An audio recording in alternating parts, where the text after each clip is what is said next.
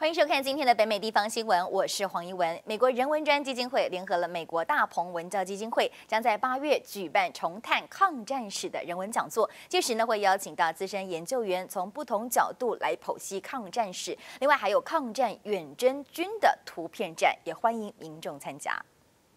为了让人们了解更多抗战历史真相，美国人文专基金会暨美华人文学会、美国大鹏文教基金会日前联合举办了记者发布会，宣布将在八月举办重探抗战史人文讲座。这次讲座将于八月六号在圣盖博希尔顿酒店举行，邀请到了胡佛研究院研员郭代军教授，他是蒋介石日记的资深研究员，以及知名华裔美籍政治学者、前底特律大学政治学系主任戴洪超教授等等。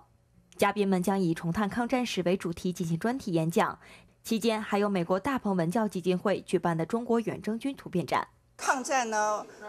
对很多人来觉得就是这段历史是很遥远，是我们父父母亲这一辈的故事了。啊，尤其是我们来到海外，很多事情我们都不太了解了。那透过这些呃特别领域的专家，还有这个郭教授他们跟我们的分享。我们希望从历史中可以吸取一些教训，也可以学习作为借鉴，哈，让我们在海外的呃，另外呃，我们的这一代还有我们的下一代，啊，对我们自己的历史有一个了解。